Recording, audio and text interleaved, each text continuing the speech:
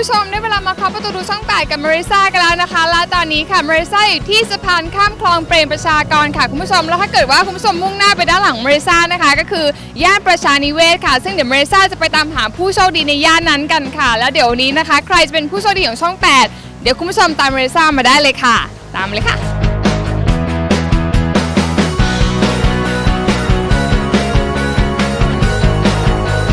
นี่คุณผู้ชมคะ ดช่อง8อยู่เลยค่ะ สวัสดีค่ะมาริซาจากช่อง8นะคะ เห็นกำลังเปิดช่อง8อยู่เลย ดูประจำหรือเปล่าคะจำครับผมประจำเลยที่งั้นขอสัมภาษณ์หน่อยนะคะ ครับ โอเคค่ะ ค่ะพี่ชื่อเลยค่ะเม้งครับผม อ่าพี่แมงเหมือนชื่อร้านเลยใช่ครับผม แหมแหมพูดถึงว่าเดินเข้ามานะคะ กลิ่นหอมมากเลยค่ะ ร้านนี้ขายอะไรยังไงบ้างคะเนี่ย ก็มีเย็นตาโฟมีค่ะต้มย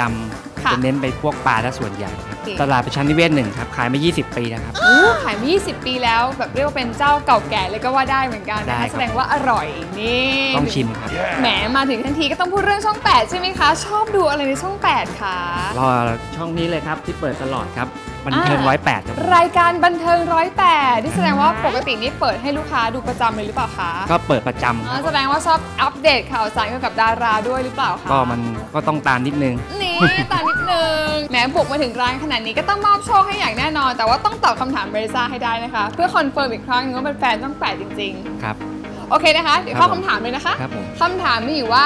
เอ่อรู้จักคุณจาตุรงค์มุกโตกใช่ไหมคะ อ๋อที่เขาแต่งตัวเป็นออกกระเทยกระเทย นี่าคำถามเลยอะเห็แอนบอยู่รู้นิดนึง เห็นอยู่ จะถามว่าเขาเป็นพิธีกรในรายการใดของทางช่อง 8 ค่ะ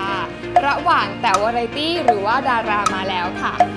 น่าจะเป็นแต่วาไรตี้นะ เพราะเห็นเขาแต่งกระเทยตลอดโอ้โห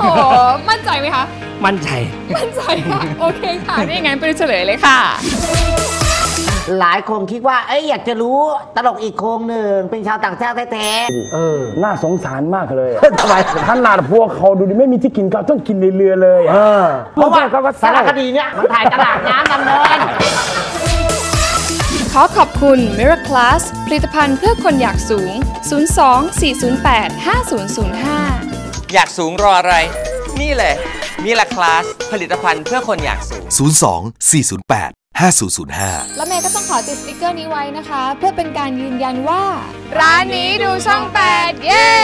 คุณผู้ชมคะติดตามรายการทางช่อง 8 เอาไว้ให้ดีค่ะ เพราะคุณอาจจะเป็นผู้โชคดีที่เมริซาไปเคาะประตูแล้วมอบโชคให้ถึงบ้านนะคะ คราวหน้าเมริซาจะไปมอบโชคที่ไหน ติดตามได้ในรายการเคาะประตูดูช่อง 8 ค่ะ วันนี้เมริซาและผู้โชคดีลาคุณผู้ชมไปก่อนแล้วนะคะ สวัสดีค่ะบ๊ายบาย